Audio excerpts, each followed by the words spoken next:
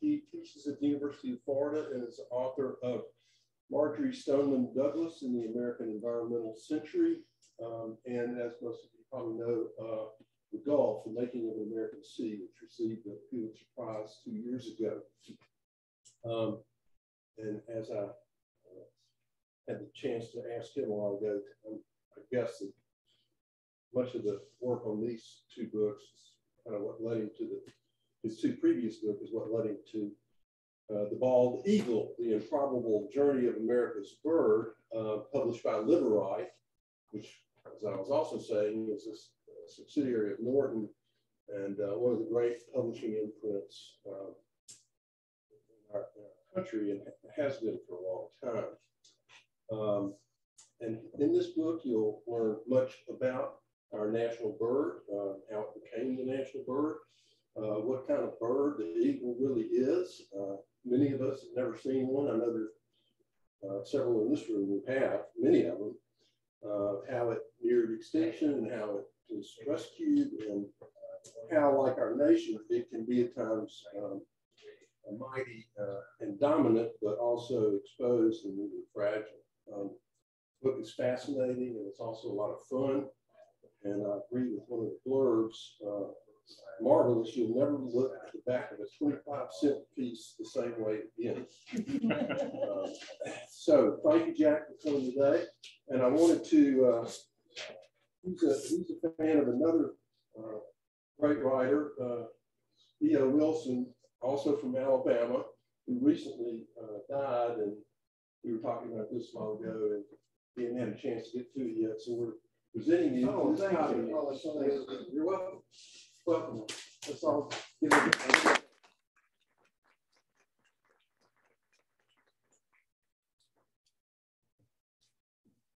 Thank you for, for coming out. Um, and uh, pleasure to be here, although I didn't know I was coming to snow country. and I was uh, down the coast earlier this week and uh, uh terribly underdressed for, for this weather. And uh, in fact, I had to borrow a, well, I was given a jacket by a friend in, Jackson, um, where I was uh, just a few hours ago and last night. And, uh, but it's good to see the sun shining uh, and uh, not the snow falling. The, uh, what I want to do today is I want to talk a little bit about the, the, the book and the bald eagle story, and then I'll read to you a, a few paragraphs and some paragraphs that focus on Mississippi as a matter of fact uh, which has an interesting history in, uh, in the Bald Eagles biography. And, uh, and then, of course, take uh, questions from you guys if you have any. I also take complaints as well. the uh, so I, people always ask me why why did I uh, write this book, and there are a number number of reasons. One, when I finished the Gulf of Mexico, I don't know where the idea came from. Uh, that you know some something a thought came in my head, write a book about the bald eagle. And I thought, oh gosh, that's a great idea. So I looked to see if, if a cultural and natural history has been written of the bald eagle in, in recent years. Of course, there are all sorts of uh, coffee table photograph uh, books of the bald eagle. There are tons of children's books about bald eagles. But the last book that, and there are a number of uh, books that scientists have written on the bald eagle, but uh, not a cultural and natural history of the bald eagle since 1996. A, a really wonderful book written by uh, Bruce Beans uh, titled Eagle's Plume, but uh, Beans focuses more on the restoration of the bald eagle population after DDT. Uh, and he doesn't go as deep into the history that I wanted to do, the historical relationship uh, between the bald eagle and the American people as I wanted to. So I saw a need there, but I also wanted to write and as an environmental writer, I wanted to write a different story with a, a, different sort of tone than that we're accustomed to encountering in books on the environment that, you know, tend to, they tended to focus on the, the, uh, the grim and the tragic. And I thought readers deserved a, a break from that and, and uh, perhaps wanted, uh, would, would appreciate a more uplifting story that might provide some sort of positive reinforcement as we uh, confront environmental challenges of, of, the 21st century. And the bald eagle story is, is a great American conservation success story. Not that there isn't the grim and the tragic, in it's historic relationship with, with the American people. Um, but uh, we pushed it to the uh, brink of extinction in the lower 48 states twice, but we also redeemed ourselves twice. And, uh, and today the bald eagle population is thriving. Continent wide, it is probably around 500,000, uh, and which is equivalent to the estimated size of the population at the time that Europeans began settling uh, the continent. Uh, now, let me put that in perspective. In 1963, when National Audubon led a, uh, a bald eagle nest count, um, the, the total for the lower 48 states, again in 1963, year after Rachel Carson published Silent Spring, was uh, 487. Uh, and the bald eagle was missing in action from uh, a lot of states. No New England state except outside of Maine had any nesting bald eagles. Uh, Pennsylvania, New York, New Jersey, uh, Ohio, um, Indiana, no nesting bald eagles. across the South, Alabama, Mississippi, Arkansas, Tennessee, no nesting bald eagles. Uh, the Carolinas, sporadically one or two, in some years, none in other years. Louisiana, you know, a state with a lot of water, obviously, uh, and a lot of fish, or you would think fish, but again, this is you know still uh, early post DDT, and uh, the or the, right in the middle of DD, DDT, excuse me only three or four nesting pairs in the northern part of the state. Uh, Florida, of the southern states, had the healthiest population, um, but it, but only about 88 nesting pairs, whereas uh, a couple of decades earlier there were 1,500 to 2,000 nesting pairs. And so it's the, the, again, it's this great American conservation success story. Uh, and uh, and so I wanted to write about that success story. But when I got into the history, I learned that DDT wasn't the only time we pushed bald eagles to the brink of extinction. Um, we did so in the late 19th and early 20th century. And the assault on the bald eagles then was not indirect. They were not collateral damage of some uh, chemical pesticide uh, and such as DDT. Um, it was a direct assault. Americans were shooting bald eagles out of the sky every opportunity they had. Uh, the bald eagle became a national symbol in 1782 when Congress adopted it for the, uh, the national seal, uh, the Great Seal of the United States. It was actually a really good pick. It took Congress, by the way, uh, three committees, uh, 14, 15 uh, uh, congressional delegates, consultants, and artists before they finally happened upon a design for a national seal that was uh, that uh, Congress uh, liked and would, could accept. the eagles were a bald eagle was not put on or suggested for the seal until the end of those six years in 1782, and um, and it was an ideal pick for that, I think, for the Great Seal of the United States. Charles Thomson, the Secretary of the Continental Congress, was essentially the most powerful man in uh, that institutional body, uh, was the one who said, let's put the bald eagle on the seal. He was fed up with all these committees failing. Um, and I should say the very first SEAL committee that was organized just within hours of Congress uh, voting to accept the, the Declaration of Independence on July 4th, 1776 the first SEAL committee committee uh, was Jefferson, Franklin, and Adams. Stellar group, right? You, I mean, you have to. It, I forgot. Am I on camera? You're fine. You're good. I walk around.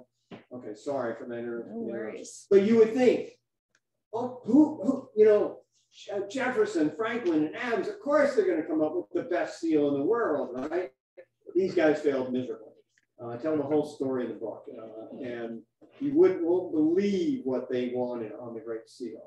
Uh, and uh, but Thomson said finally said, okay, fed up with these idiots. Nobody can come up with a decent seal. We're going to put the bald eagle on, and he wanted his instructions said an American bald eagle. Now eagles on uh, nation state coats of arms and seals go back to the ancient Greeks and, and Romans. Uh, but the, all those eagles on, on uh, you know, in heraldry are non-ornithological. They don't represent any particular species.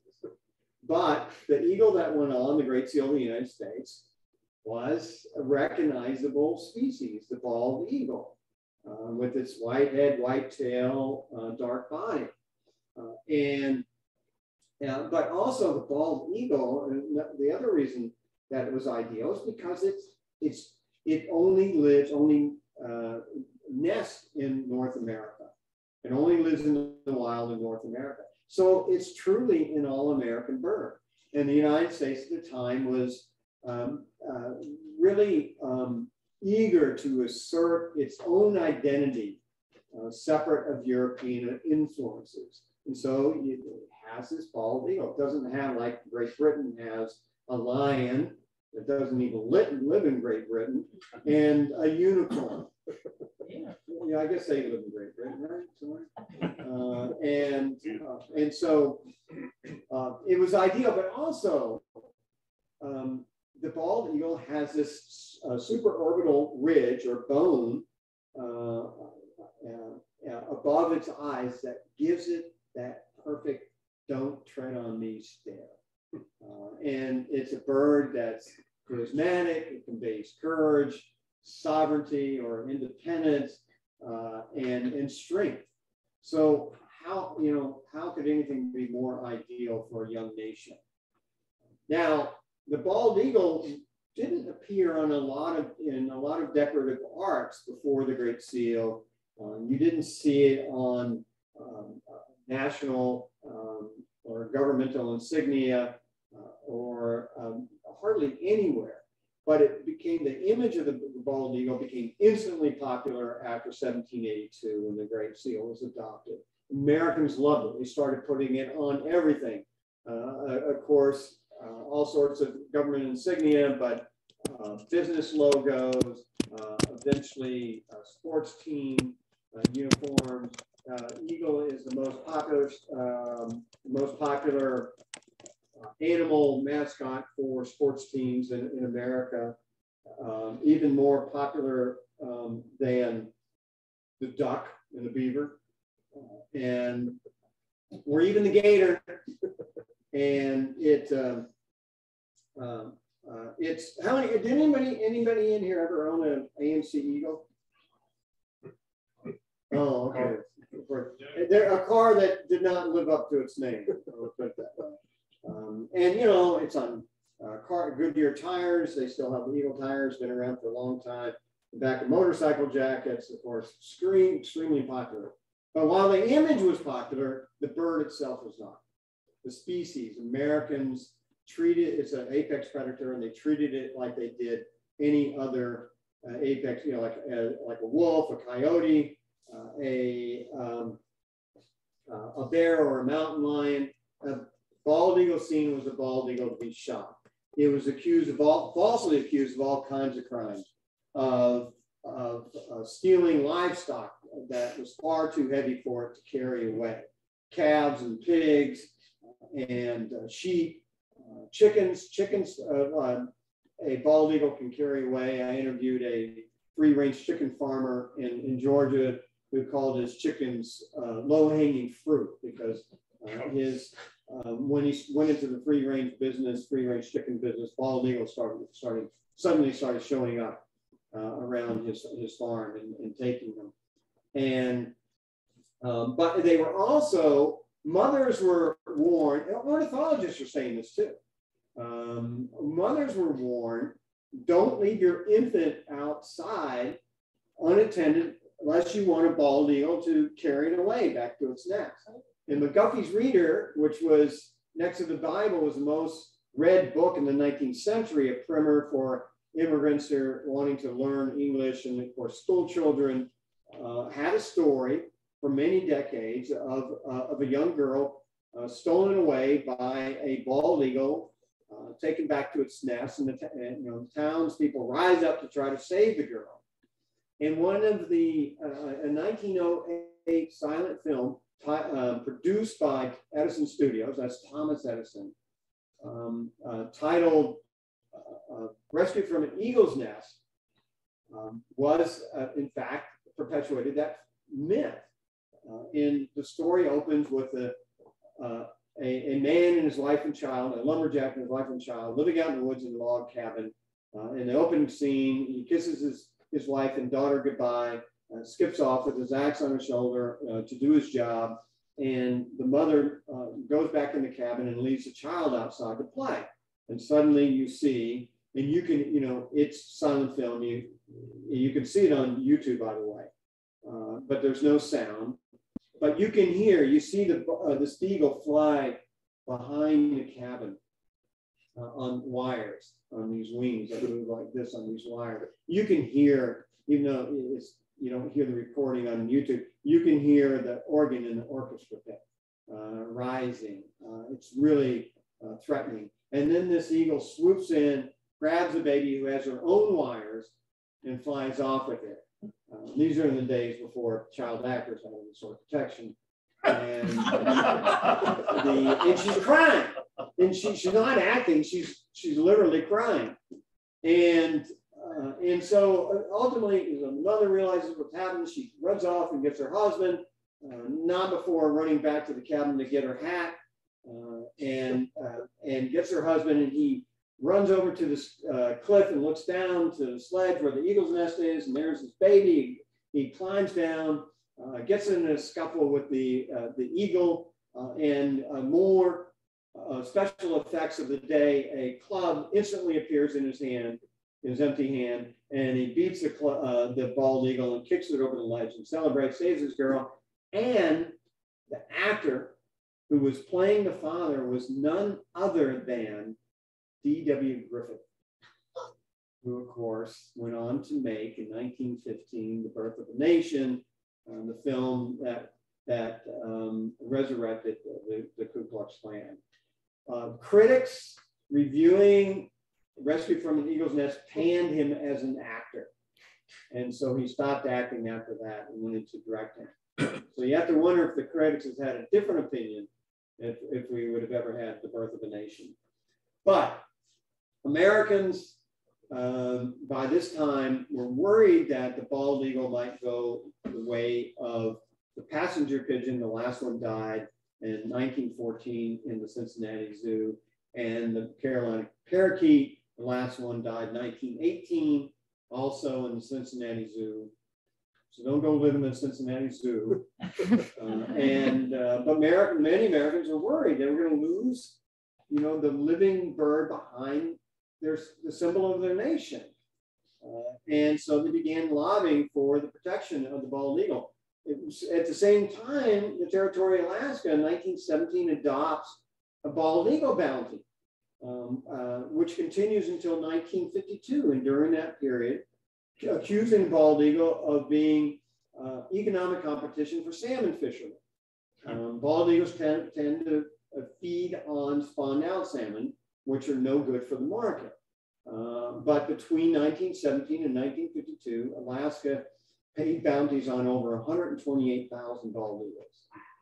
And when I was doing my research, uh, on newspapers.com, which is a great uh, database for thousands of, of, of local dailies and, and, weekly newspapers in the United States dating back to the colonial period. And excuse me, I searched, did a search from 1850 to 1920 with three words in quotation marks, bald eagle shot. And I came up with, with uh, over 140,000 hits uh, and between 1850 and 1920.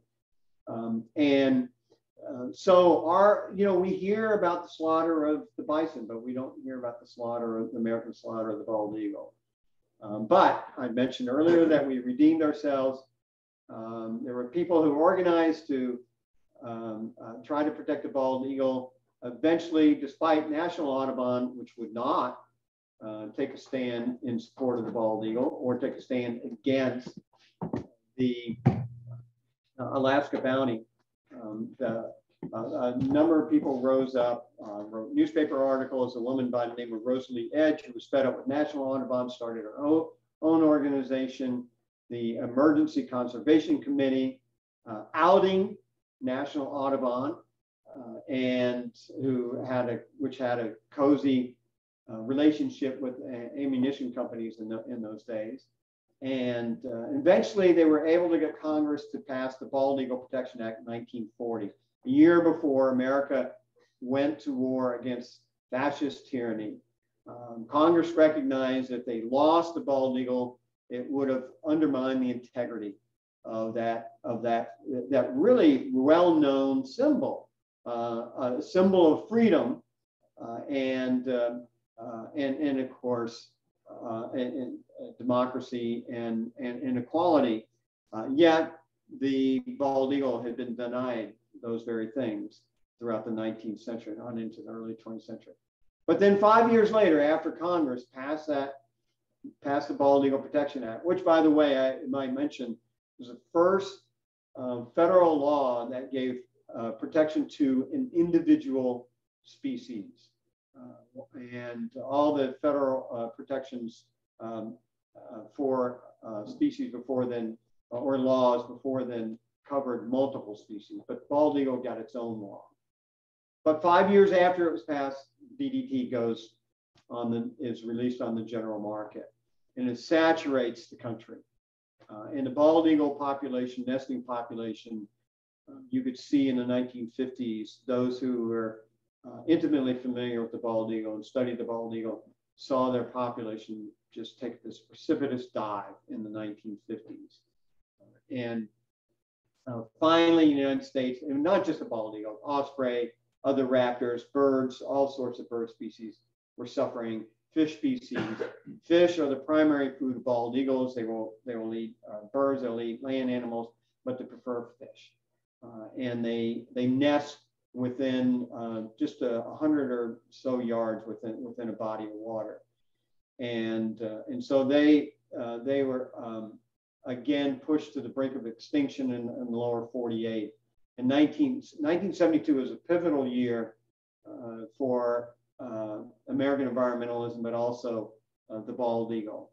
Congress uh, uh, increased the penalty for harming a bald eagle, eagle under the Bald Eagle Protection Act.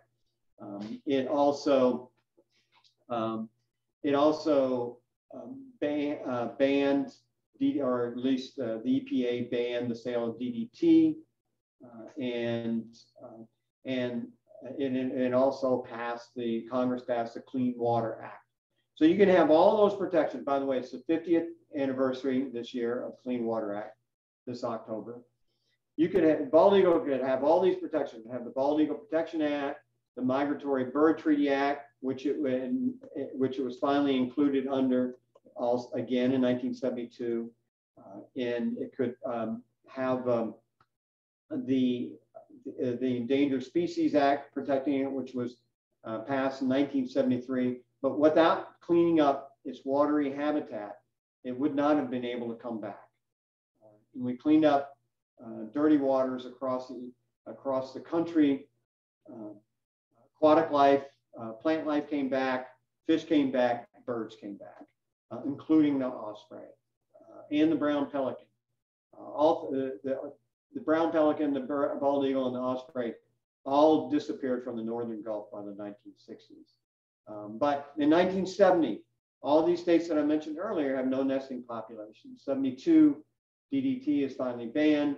Four years later, uh, Fish and, U.S. Fish and Wildlife launches a restoration program in the bicentennial year, 1976, uh, across the country. Uh, and essentially the way that worked is they I mentioned the New England states had no nesting eagles with, exception of Maine. And so they, they would bring in uh, eaglets from healthy areas such as northern Michigan, Wisconsin, Alaska, and Canada, and raise them in these, these big, I call them lion cages, outdoor lion cages on top of stilts uh, in the elements. And five to six weeks old, they were taken from the nest, moved them to, say, Massachusetts or New York or or Pennsylvania, raise them in what were called hack boxes and with makeshift nests in them, feed them from behind blinds. And at 12 weeks, when they fledge, let them go. But while they're living in those boxes, they imprint on the territory. And, and so the territory that they imprint on becomes, in their minds, their natal territory. Bald eagles, return to the, when they reach breeding age at four to five years, return to their natal territory to mate and to build nests and to um, um, and to live the rest of their life uh, and generally. And it was huge success across the North, these hacking programs. And now the South was a different challenge. Uh, there are some people call them subspecies. There are northern bald eagles, there are southern bald eagles. It could just be different gene pools, but the northern bald eagles are larger than the southern bald eagles. And the northern bald eagles can't take the heat in the south. They're also not immune to an avian malaria that southern bald eagles are, are immune to. So they couldn't bring down Michigan bald eagles to the south uh, and um, put them and raise them in hack boxes or Canadian. They needed a regional bald eagle. And all these southern states are depleted of nesting eagles. With the exception of Florida, by 1970 had about 300 nesting pairs. And, but that wasn't enough uh, to remove eaglets and put them in, uh, you know, the, the other southern states. There was the concern that would harm the popul- nesting population in Florida. So the, um, the um, the Sutton Avian Center in Oklahoma came up with that idea. Let's take eggs out of the nest of Florida birds, bring them up to Oklahoma, incubate and hatch them underneath hens, raise them until they're five, six weeks old, and then move them into hack boxes in the southern states uh, Alabama, Mississippi, Georgia, the Carolinas, Oklahoma, Louisiana. And that's what exactly what they did.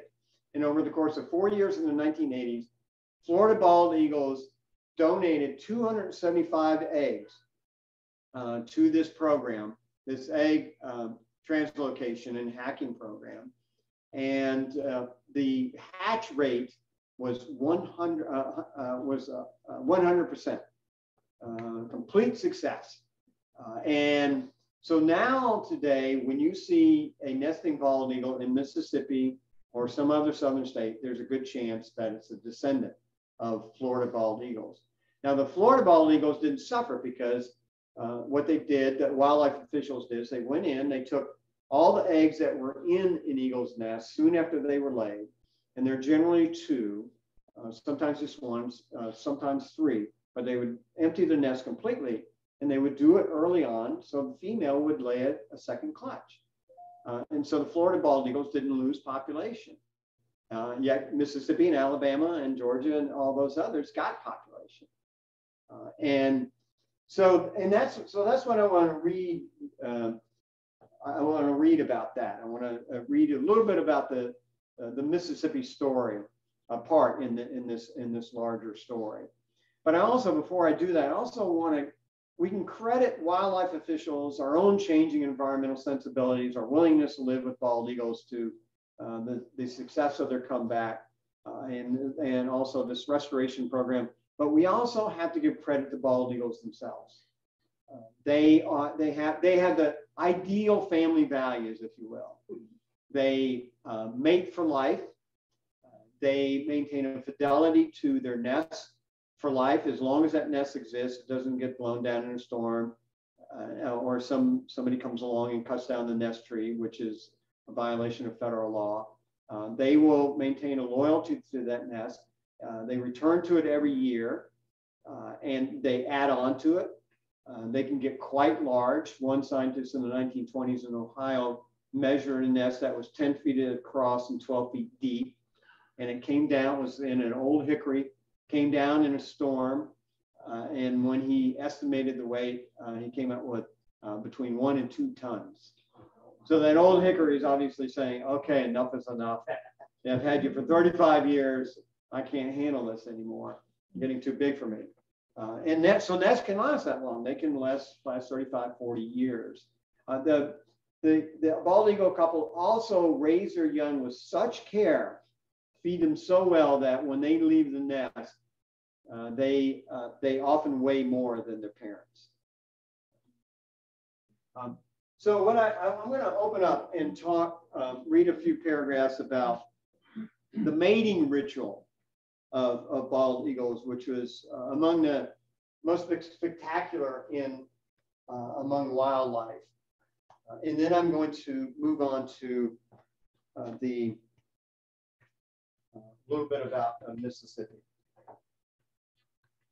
I guess I better stand over here. In the wild, a bald eagle couples coming together to foster a next generation is an event we associate with a renewal of life born from the mysterious force of instinct.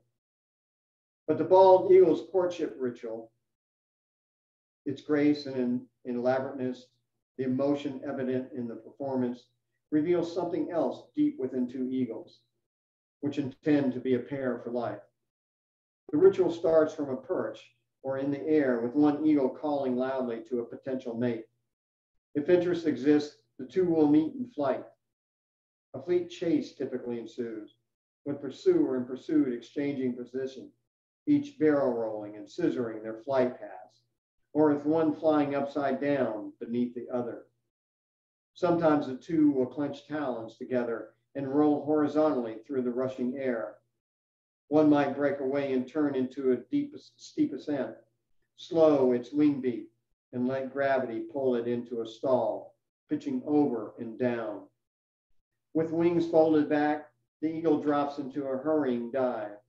Then at the last minute before disaster, it soars upward into another ascent, following the first maneuver with another rushing dive and another ascent over and over again in undulating flight. Even more heart stirring and heart stopping is yet another performance the cartwheel display, a veritable aerial waltz. Two taloned feet, sometimes all four, join and become an axis between whirling, somersaulting, pinwheeling eagles, a suspended avian cyclone. Laws of motion pull the courting pair outward. Desire holds them together. They did not defy separation and falling together, death. The release happens moments before the bonded two turn up and away from the water or ground.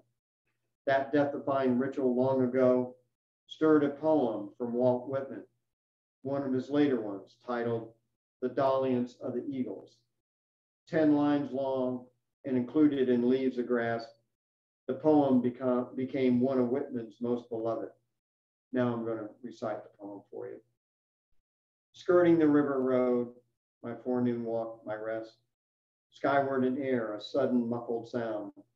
The dalliance of the eagles. The rushing amorous contact high in space together. The clenching interlocking claws. A living, fierce, gyrating wheel. Four beating wings, two beaks, a swirling mass tight, grappling in tumbling, turning, clustering loops, straight forward, downward, falling, till over the river poised the twain yet one, a moment's lull. Emotionless, still balance in the air, the parting, talons loosening. Upward again on slow, firm pinions, slanting, their separate, diverse flight. She hers, he his, pursuing.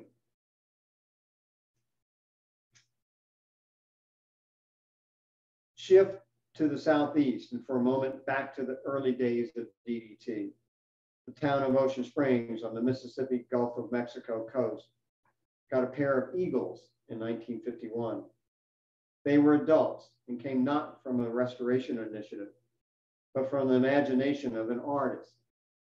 Walter Anderson, who lived in Ocean Springs and had studied at the Pennsylvania Academy of the Fine Arts, the fountainhead of the Schuylkill River School, was the artist. He painted not landscapes so much as individual living things of nature, almost exclusively those of the Gulf Coast.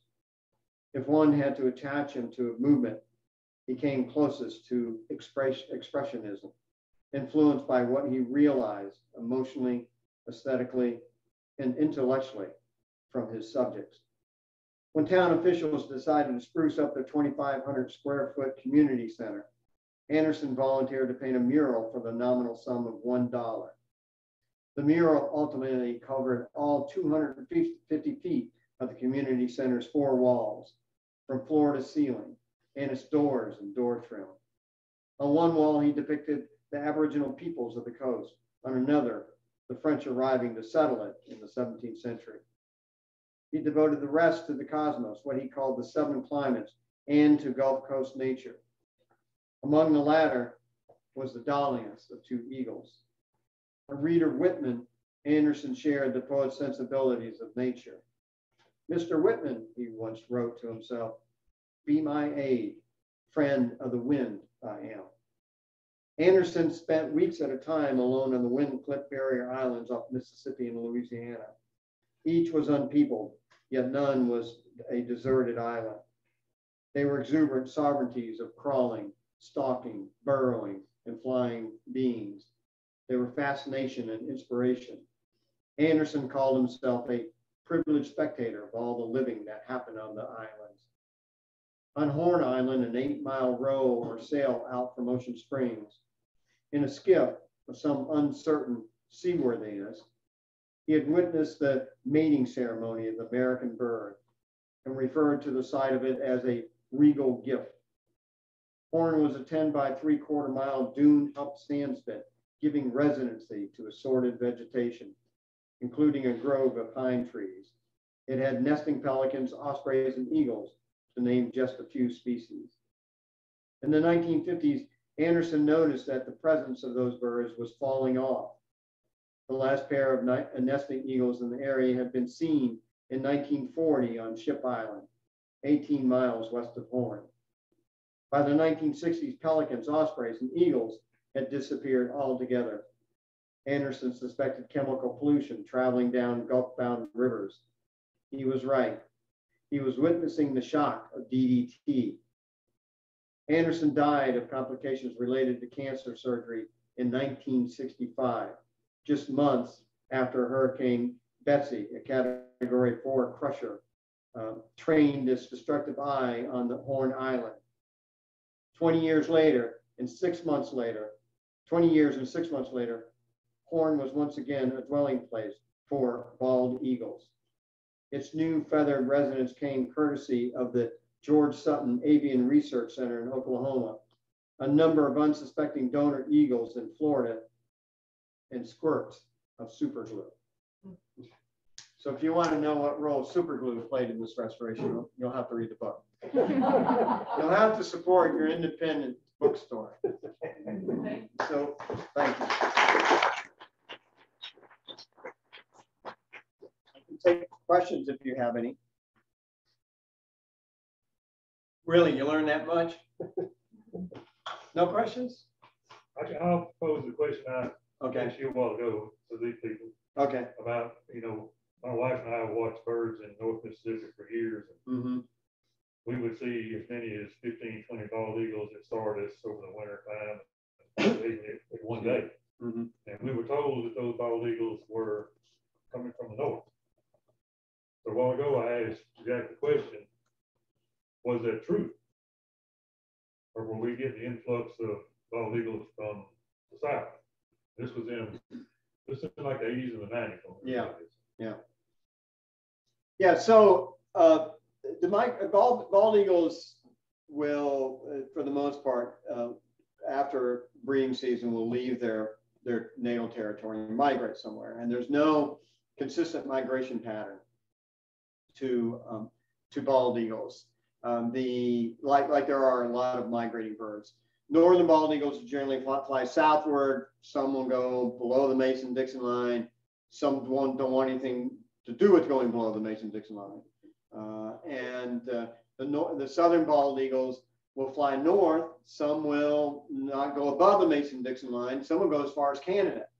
Horn Island, uh, or, uh, the, the Horn Island birds that were raised in the hack boxes and many of them went up to the Great Lakes region, some even as far as Canada. Some of the Florida eagles go as far as Canada.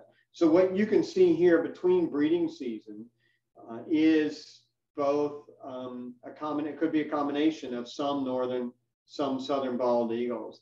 Um, there are a lot of, there are a number of Florida bald eagles that they go to real foot, uh, lake or national wildlife refuge.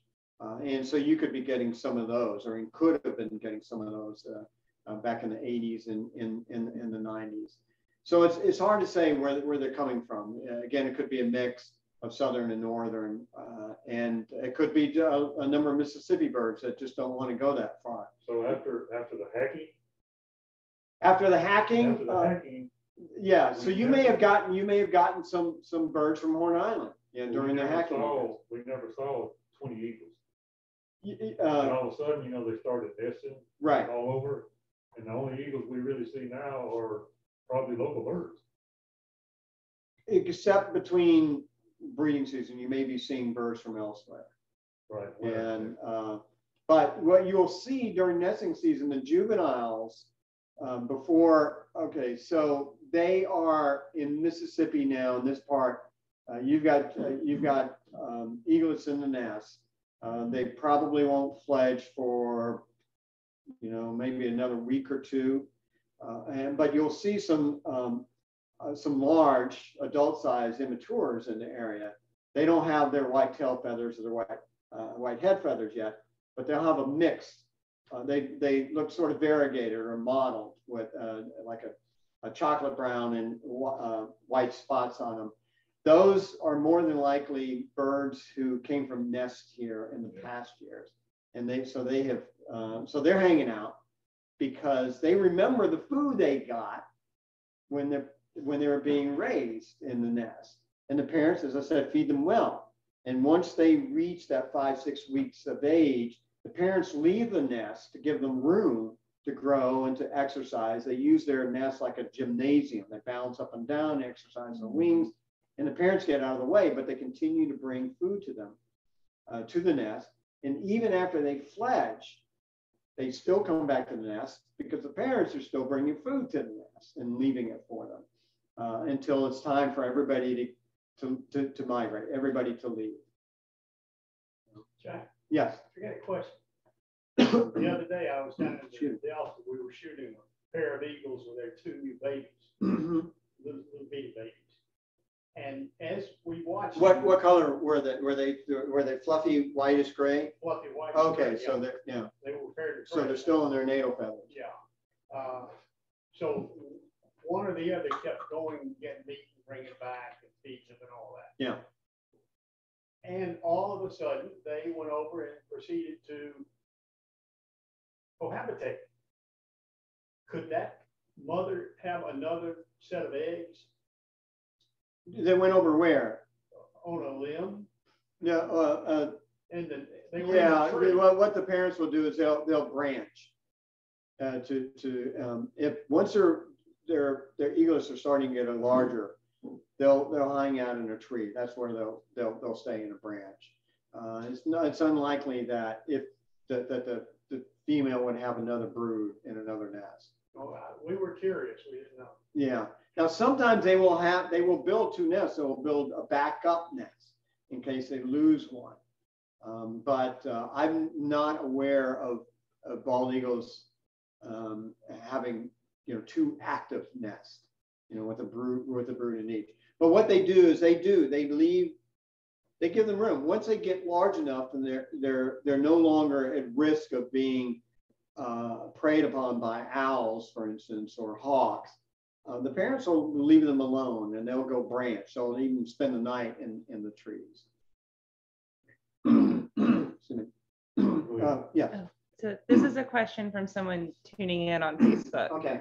Um, they'd like to know, is there a difference between Atlantic bald eagles and those on the West Coast? Kinda No, like just, just northern, southern, and, and, and again, and it's only, it's only the size, that's um, the difference and uh, between the northern and southerns. Uh, they generally do not fly, do not migrate east and west, or maybe, excuse me, a little bit of, excuse me.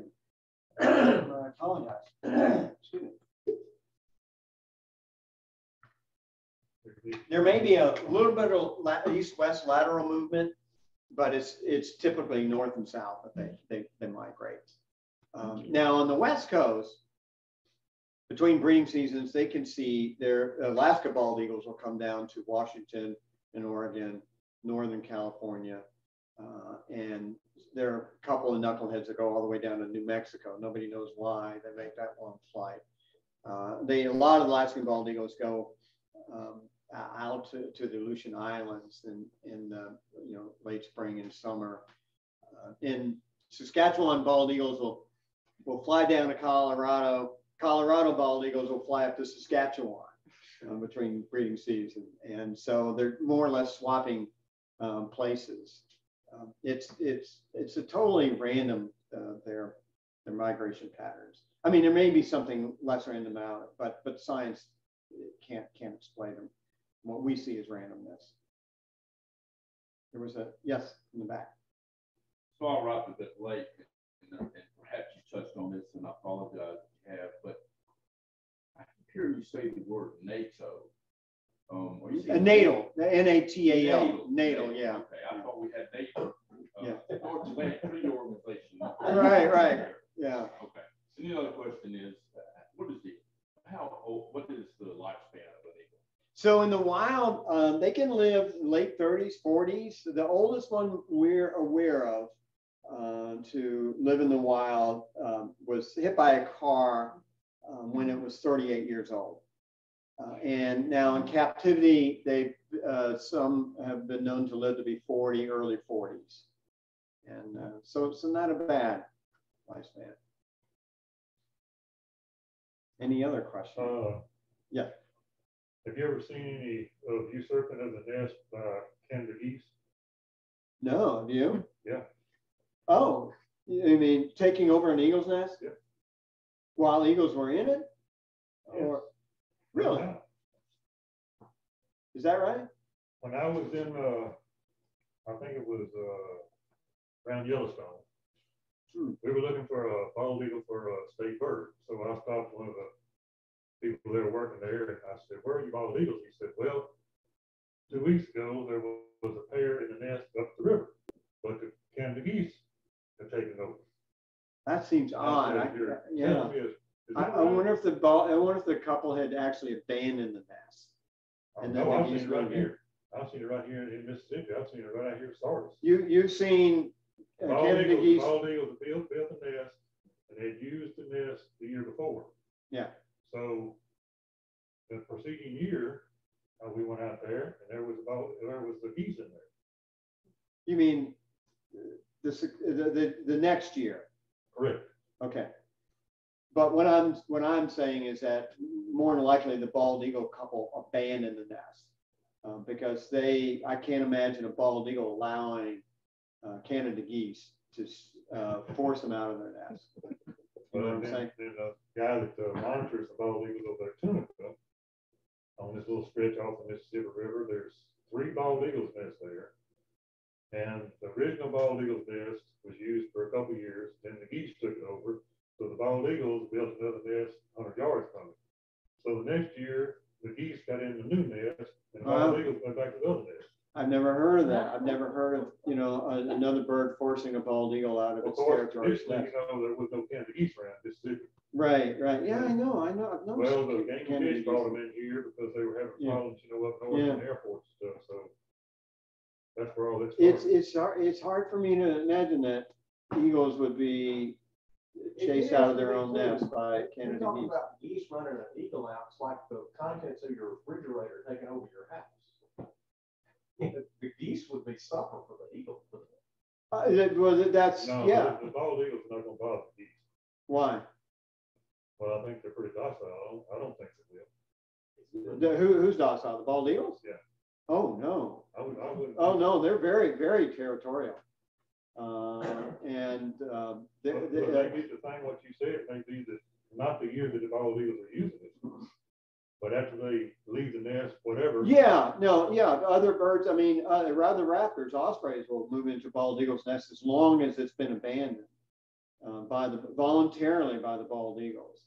Uh, and not, and, but they, they're very territorial, they're, they're fierce birds. And, you know, they, they steal uh, food from other birds. Uh, they don't tolerate, um, they, I can't imagine them tolerating, it. they're gonna eat a geese, they're gonna attack a goose. Uh, and, I don't know um, why it wouldn't bother them after the geese was, were there if, Well, I, I, I don't know, Big- I, you know, it's, it's not, it's not within the bald eagle's behavior to allow another bird to push it out of its nest. Now, why there's, there geese are in there, in, in an eagle's nest, I'm not sure. Uh, now, they will tolerate other birds in their uh, in their territory as long as they're birds that they uh, don't feel threatened by or feel as though they would be uh, competitors for food. Uh, and geese are not, you know, would not be competitors for food. An osprey would be, and they'll chase an osprey away, um, a nesting pair. They'll chase another bald eagle pair out, away. They fight over food in midair. I've seen um, bald eagles. I've seen one bald eagle catch a fish, another one attack it in the air, and they engage in this aerial battle. And the, the fish go went back and forth between them five times. Um, and uh, they're they're fierce birds. They they don't tolerate very much. And uh, so, what? Um, yes. I um, have a question about the process you use to write your book. Mhm. Um, I'm working my way towards the end of the Gulf, and thank you for that. You're welcome. Um, Thank you. It it uh, is impressing me with just how much research goes into this effort that you did. Um, it, it's just amazing to me how, and I'm interested to hear about your process for writing and researching. You have a, a phalanx of graduate students. I wish. Rounding up data, or are you traveling a lot? Like, can you say a little bit about that? Um, so uh, the way the way I approach uh, writing a book is I I'll do preliminary research so I can pull together a book proposal to hand over to my agent, who will then you know try to sell it, uh, and it would also help you know get the get the proposal in in good shape uh, for it to be presented. Uh, and then when I uh, sit down to write the book itself, I typically focus on one chapter at a time. So I'll be doing additional research as I'm writing. Uh, and there's, um, you know, there's so much on the internet now in terms of primary sources and, and secondary sources, so much in the archive, so much archival material has been digitized. And so you can just get it at your fingertips. We don't have to go. When I wrote a, a book on, when I wrote a book on Natchez in the 1990s, I spent six months in the, the uh, Mississippi State Archives reading every issue of the Natchez Democrat on microfilm. We don't have to do that anymore. We can do that right there at our desks. Uh, so you don't have to spend as much time in the archives and libraries as, as you once did. And uh, again, so much you can access online. And I like having a, a loose outline for my chapters. I don't like a rigid detailed outline because I want the history to show me how it wants to be written. And when I get up in the morning to write, I'm a morning writer. I get up in the morning to write. I want the, uh, I, I, I, I have a, you know, an idea of where I want to start and where I'm going to go, but I allow myself to be redirected if something just suddenly crops up. So, there's a surprise that crops up in, in the documents, uh, you know, somebody I didn't know about. So there are these plot twists if you will, that happen as I'm, I'm writing, um, which makes it exciting for me. And um, um, so, uh, and and and then and again, I, I, you know, there are a lot of fiction writers who say they want their characters to sh show them how they want the story written, and I'm the same way. I, I want the history to show me how it wants to be written. Does that make sense? Yes. Did you Yeah. do, when you wrote the Gulf, did you do a lot of travel? I did, I, I did two uh, trips around the Gulf of Mexico, but I did a lot of research just right there on the computer, even more with this because I was researching writing this during COVID.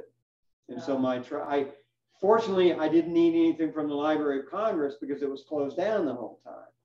And, but what I needed was actually online. It had been digitized, which was, which was great.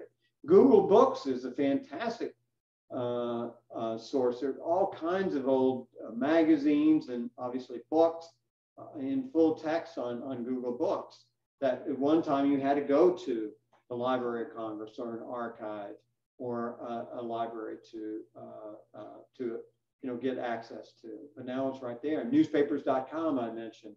fantastic database. Um, and uh, ProQuest, historic uh, newspaper, same, same thing. And uh, just all sorts of government documents online. It's great.